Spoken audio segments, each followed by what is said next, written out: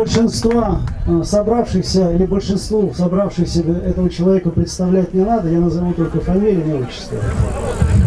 Шевченко Максим Леонардович. Здравствуйте, дорогие друзья, здравствуйте, граждане России, те, кто сегодня собрался протестовать против беспредела крупного капитала и э, беспредела Владимирской власти, которая на наших глазах лгала президенту Российской Федерации два дня назад о прекрасном положении дел во Владимирской области. Она лгала о том, что трасса М7 по ее мнению, лучше, чем трасса э, Франкфурт на что даже президент и сказал, вам виднее. Она же не бывает тут, правда? Она построила себе дворец около Владимира. Сын ее владеет землей в Московской области, откуда он сюда вытаскивает грязь и мусор. Ее чиновники живут за границей. Ее зам Хвостов сейчас доказано в 91 миллионов хищения. На эти деньги можно завод было построить по переработке мусора. Не сваливать все, а перерабатывать. Научить людей раздельному сбору мусора. Пластик сюда, стекло сюда, биологические отходы сюда, бумагу сюда. Нам говорят, люди не научатся. Да мы для них просто скоты получаемся, понимаете? Просто деньги, которые выделяют, на это они воруют, а потом роют ямы, получают подряды и вывозят сюда эту грязь. Сами они в России не живут. Сами они покупают себе земли, покупают себе дома там, за границей, а сюда, да они всю землю нам завалят этой гадостью, этим ядом чтобы москвичи, которые тут имеют дачники, жители Киржачского района, которые тут живут поколениями, владимирцы, жители Петушинского района, жители Гусь-Хрустального района, жители Александровского района, мы все должны задыхаться. У нас-то нет другой родины. А у них, посмотрите, они все получают вторые паспорта. Все эти олигархи сейчас, когда их приезжала, один кипрский, другой израильский, третий британский, четвертый еще какой-то. Но здесь они зарабатывают деньги, на нашей разоренной несчастной родине. Вспомните, какой была Владимирская земля еще 10-15 лет назад. Было тяжело, но люди жили, работали заводы. Сегодня едешь, поросшие деревьями развалины. После нашествия Батыя, понимаете, была какая-то надежда. После этих остаются только грязь, свалки и яд в земле. Поэтому мне тут говорят, Максим, не говори, только про экологию говори, про политику ни слова. А как вам кажется, экология это политика? А как вам кажется, кто виновен в том, что отравляет нашу землю? Громче я не слышу. Власть виновна, конечно. Они виновны, которые лгут президенту России. 30% у нее рост экономический в области. Ложь, ложь на лжи и лжь и ложью погоняет. Они боятся открытой дискуссии. Они боятся сюда к вам приехать. Не были бы трусами. Здесь сейчас были бы единороссы, ЛДПРовцы. Вы знаете, что Сипягин, который выступает тут якобы, подписывал, будучи главой комитета по аграрной политике, то, что у вас тут будет свалка. Знайте это. Поэтому, когда вам говорят, что есть какие-то оппозиционные партии ЛДПР, глава их, выдвигаешься, подписал документ о том, что свалка будет здесь. Они лгут. Мы требуем современных заводов. Мы понимаем, цивилизация развивается. Мусора становится все больше. Пластиковый мусор, бумажный, стеклянный. Разумно. Мусором надо что-то делать. Но вот я, допустим, зимой, когда была под Волоколамском эта ситуация страшная, реально страшная, когда дети отравились когда они вскрыли, э, так как они стали захоранивать новые отходы, вскрыли старый полигон, а там под землей сформировалась уже газовая ядовитая среда, эти газы вышли и пошли на древний-древний город Волоколамск, который я знаю с рождения практически, сколько там рядом находится база Московского авиационного института, где преподавала моя мама, где я сам учился и так далее, в Геропольце, в старом имении Пушкина. Древнейшая земля, которая древней Москвы. Волоколамск древнее Москвы. Здесь города древнее Москвы. Отравлена просто была. Дети жили ситуацией отравления, их скорая помощь увозила. Вы думаете, здесь будет по-другому? Вы думаете, здесь какие-то экологические нормы будут соблюдаться? Вы верите их словам? А теперь я вам расскажу, что тут было, когда э, был месяц назад примерно, когда они пытались в районном совете, на заседании районного совета протащить эту свалку. Когда они собрали депутатов для того, чтобы решить, как будет обсуждаться вопрос свалки, на публичных слушаниях или на общественных слушаниях. Публичные слушания, чтобы вы понимали, это то, что у нас сейчас происходит. Вот мы сейчас с вами слушаем друг друга, и потом можем сказать, хотим мы свалку?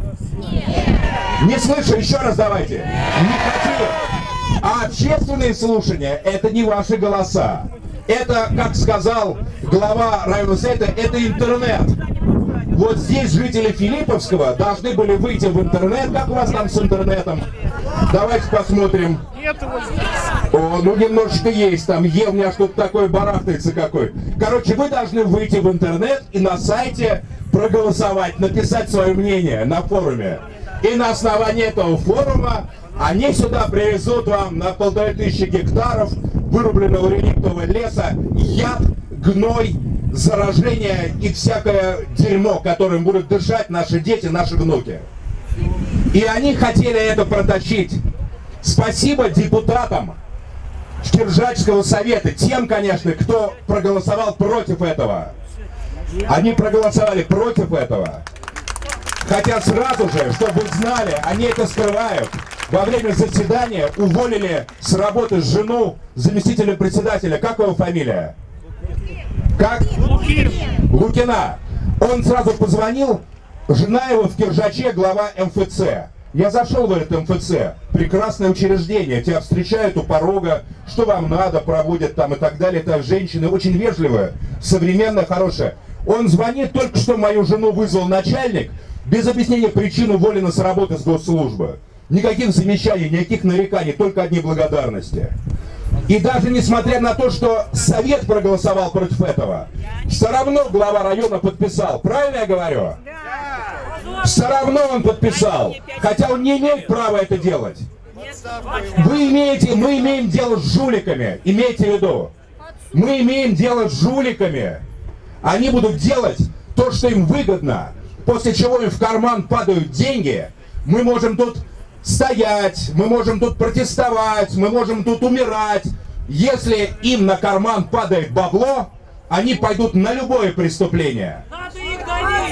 На любое преступление пойдет капитал ради прибыли в 300%. Знаете такую фразу? Вот здесь вот это подтверждение этому. Поэтому, когда вам говорят, что это не политический вопрос, не верьте. Это политический вопрос. 9 сентября это не только вводом о пенсионной реформе референдум, против которой 94% населения страны, и которую они проталкивают, и от, и от которой даже президент дистанцировался. Это для нас еще и референдум о свалке. Все, кто за свалку, поддерживайте Единую Россию, ЛДПР и прочих спойлеров. Все, кто против свалки, знаете, за кого голосовать. Единственная партия, которая выступает против свалки, это КПРФ. А Единственная партия, которая сегодня не боится в лицо этой власти бросать правду, слова правды, это КПРФ. По нашему списку идут не только коммунисты, я сам не член партии, патриоты. И идут люди демократических, либеральных взглядов. Э, хозяин, главный редактор Томикса Сергей Казаков идет в нашем списке тоже. Сегодня мы являемся основой для демократической конституционной коалиции. Я выступаю не за скандал, не за конфликт, а за системную работу. Мы считаем, что завод может быть построен. Но почему именно здесь? А кто обсуждал с народом, где можно строить завод? Вот, допустим, в Вене, я не перестаю это рассказывать, вот есть город Вена. Поднимите, кто бывал в Вене? Есть такие? Есть. Видели в центре Вены стоит такое здание с золотыми куполами такое, да? Я моего друга спрашиваю, вас издаст? Я говорю, это там Айнмодан музей, там это музей современного искусства. Он говорит, нет, это завод по переработке мусора. Как же, говорю, так, в центре города историческом? Да, говорит, просто там из него выходит воздух почти дистиллированный. Там птички пьют, там гнезда вьют на его стенах. Виноград его обвивает.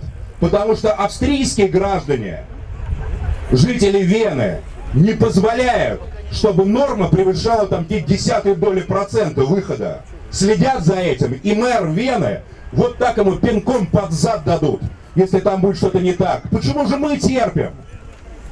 Почему мы себя ведем как люди, как терпилы, с которыми можно обращаться как угодно? Япония, Германия, везде, да Чехия, в Польше я это видел. В Польше везде можно построить современные заводы. Они не безумно дорогие. Тратишь деньги на завод, там несколько десятков миллионов долларов. Меньше, чем они тратят на своих этих самых шлюп, с которыми они отдыхают. Понимаете, там за границей. А, а обоего пола, кстати, и мужского, и женского. А, и учишь людей переработке мусора, вот этой сдельной, вот, вот этой вот раздельной как бы сбору мусора. И все. И будет чистая Москва, чистое Подмосковье, чистая Владимирская. Но деньги же надо украсть. Деньги же надо украсть.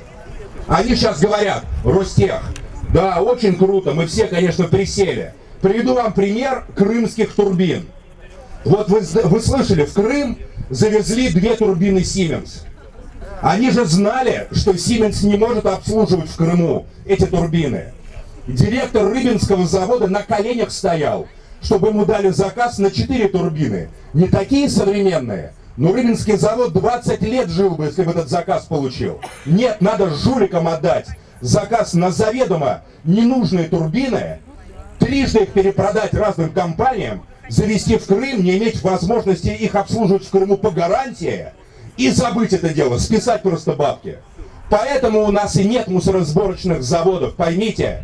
Потому что их задача не строить, не облагораживать нашу землю, а врать президенту, как врет Орлова, обманывать народ, как это делает Единая Россия и ЛДПР, и зарабатывать бабки любой ценой.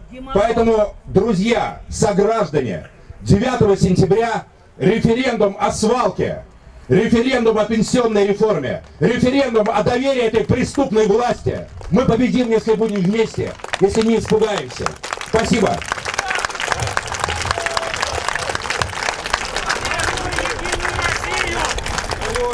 Долой!